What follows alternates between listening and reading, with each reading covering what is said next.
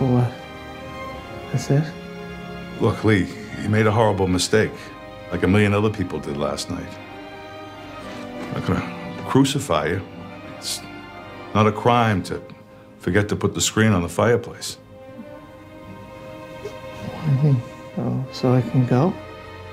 Unless something comes up we don't already know about. Yeah. You got anyone to give you a ride back home? Is, is Joe here? Is your, your dad here?